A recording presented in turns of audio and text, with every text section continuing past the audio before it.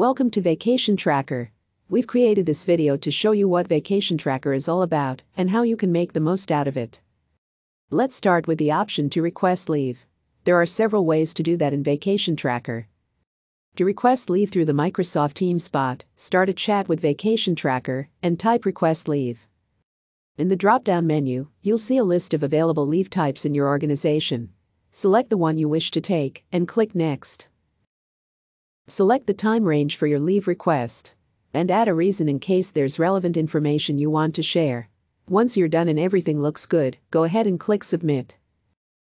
You can also request leave through Microsoft Teams tab by clicking on the My Profile section in your chat with Vacation Tracker and filling out all the necessary information. To request leave from the dashboard, click on the Request Leave button in the left navigation column and fill in the information. No matter which method you choose to make your request, it will be sent to the approver right away, and you'll be notified as soon as the decision is made. If you want to review your leave requests, you can do so from the Vacation Tracker dashboard and Microsoft Teams tabs.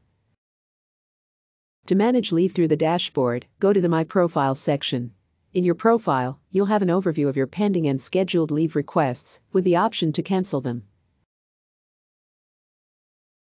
All of this information is also accessible through the Microsoft Teams tab. There are several ways to view upcoming leave information within Vacation Tracker. On the dashboard, you have a complete overview of upcoming leaves. You can see who is off today and view upcoming leaves for your company. Another way to view upcoming leaves is through daily and weekly notifications. You'll receive upcoming leave updates daily, weekly, or both directly in the selected Microsoft Teams channel. To view upcoming leaves through Microsoft Teams tab, go to the Teams section and then on the Vacation Tracker tab. You'll have all the information about today's and upcoming leaves on there, as well as upcoming holidays. If you prefer viewing upcoming leaves using a traditional calendar format, visit the web dashboard and click on the calendar. Holidays don't count towards your allowed leave quota.